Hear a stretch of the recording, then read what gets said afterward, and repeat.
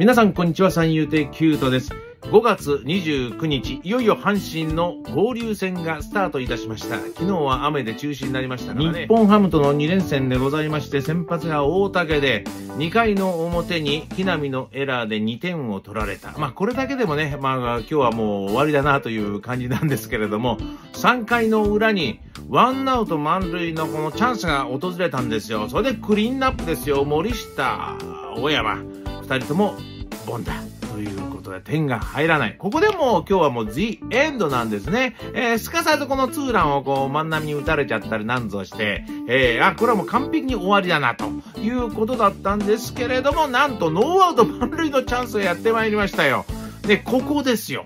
ここでね、一気にひっくり返すチャンスもあるんですけど、渡辺亮がさーっと結構大きいセンターフライ打ったんですけども、これでまあ1点は入るんですが、この問題はセカンドのランナー森下ですよ。タッチアップせずそのままだったんですよ。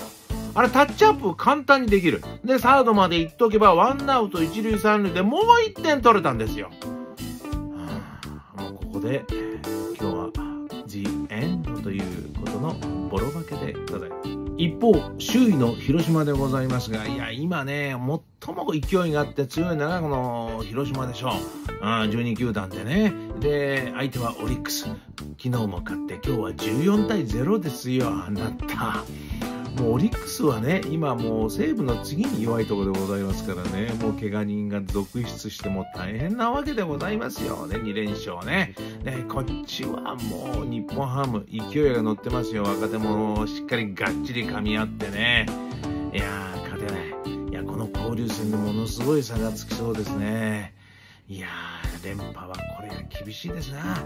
まさか、こんなに全員が調子が悪いなんて誰が想像しました？